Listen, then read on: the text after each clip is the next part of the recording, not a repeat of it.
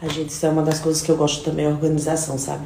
Eu fico doida com o negócio de bagunça. Louca, louca, louca, Deus me livre. Aí eu gosto de sair, deixar minha casa bem organizada. Porque a gente chega tão cansada já, né, gente? Ainda chegar e ter que fazer tudo, só Deus. Eu pus esse, esse pano aqui, gente, essa manta, porque esse sofá ele é muito claro. Qualquer coisinha ele já tá manchado. E aliás, que já tá precisando lavar, viu? Urgente. Ele e aquelas cadeiras ali, só Deus. Mas é, gente, um bom dia pra gente. Que Deus abençoe. Gente, eu vou sentar aqui rapidinho. Já tá acabando aqui os stories. É pra agradecer, minha gente, a vocês. Gente, tá chegando tanta gente, tanta gente. Eu aqui, ó, na luta, na batalha todo dia. E já conseguindo meus, meu, meu, meu milhão de pessoas. Isso é gratificante. É só a gratidão a vocês, sabe? Assim, todos os dias da minha vida eu não paro de agradecer o carinho de vocês, porque assim é imenso. Imenso mesmo, de verdade. Eita, gente, agora vou arrumar a cama aqui. Ai, ai, deixar tudo arrumadinho, né? É bom demais, gente. E vocês não olham a cor da minha cabeceira, não, gente, pelo amor de Deus. Ah, a bicha chega do amarelo, aí. E pequena pra essa cama, que antes eu tinha uma cama menor. Aí agora é 1,40 e a cama é maior.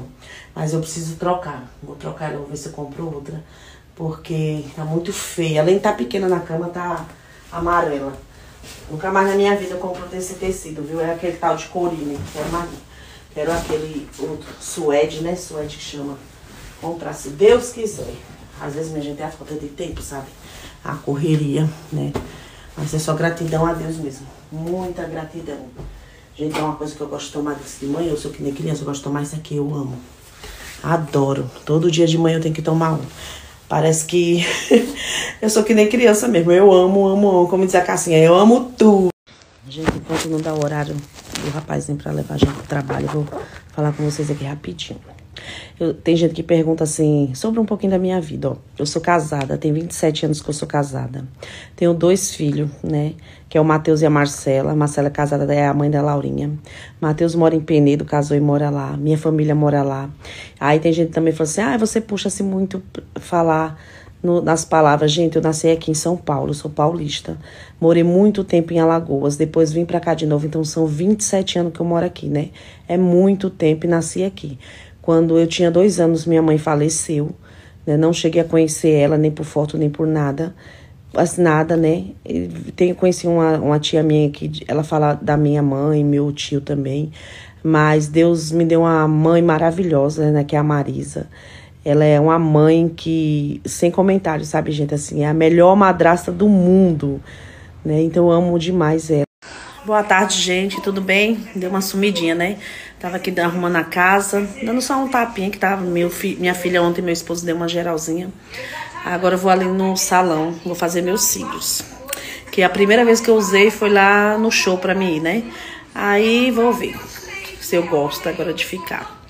Vou lá. E daqui a pouco eu mostro pra vocês, viu, gente? Quando eu chegar lá. e vamos lá, né? Peraí.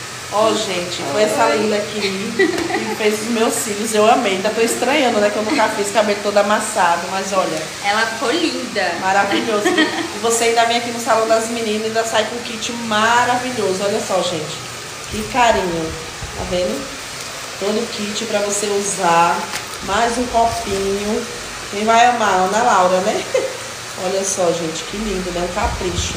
Que Deus abençoe, viu, grandemente. Amém. Espero que você volte. Volte sim, que venha muitos clientes. Amém. Que Deus te abençoe mesmo. Amém. Amém. E aqui, gente, no salão, você é super bem atendida, viu? E como a gente sempre fala, super indico.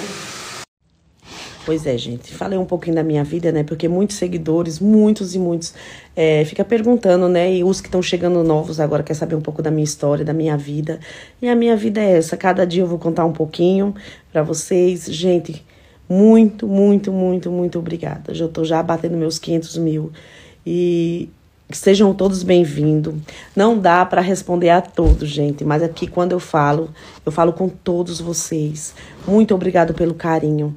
Quando eu abro assim as mensagens, eu fico lendo. Né? Graças a Deus até agora não teve nenhuma crítica, só elogios, né?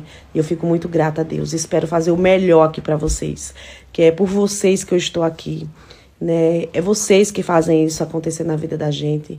E é gratificante, muito gratificante. Agradeço mesmo. Um bom dia para vocês. Vamos trabalhar, né, gente? Que para Deus nos abençoar, realizar todos os nossos sonhos. E sem Ele a gente não é nada, né? Bom dia, viu, meus amores? Ficam com Deus. Então, meu pai também faleceu, né?